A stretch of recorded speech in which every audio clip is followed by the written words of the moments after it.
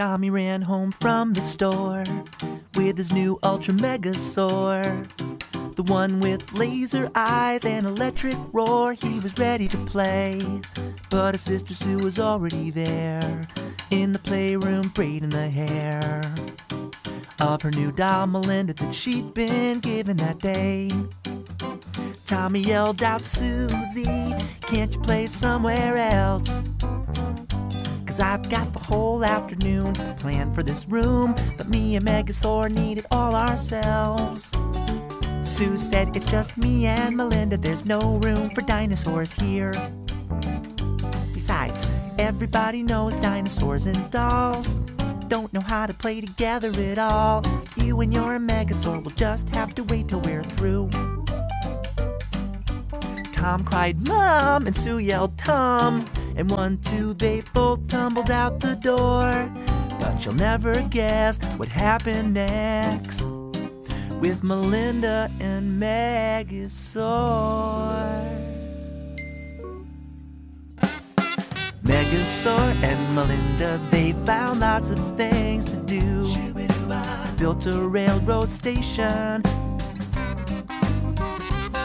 and rode a train around the room. Jungle grass and bear attacks, rolling down the railroad tracks. When they got hungry, they headed back and stopped to have a snack.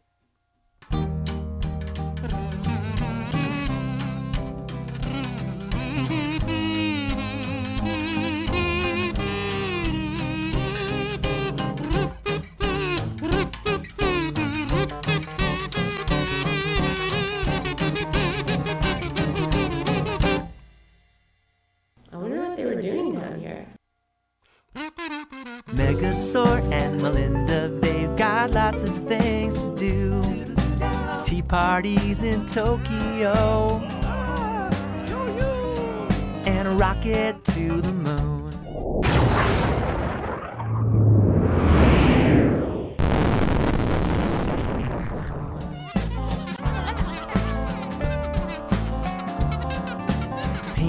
Pictures at the park. It's a marvelous day. Telling stories in the dark. Sailing off to distant lands. Starting their own marching band. Oh. Megasaur and Melinda, they've got lots of things to do. Lots of things to do. Along with Tommy and Sister Sue. When you share, you cannot lose. They went off to Timbuktu. Hey, I think Silly came along too. Maybe we'll see him on That's on him on kazoo. Okay, we get the idea now. That's it. Think you can tell it's his kazoo debut. No, seriously, that's enough. Hey, don't you have anything better to do? Good one. Oh, I didn't mean to rhyme with you. Oh,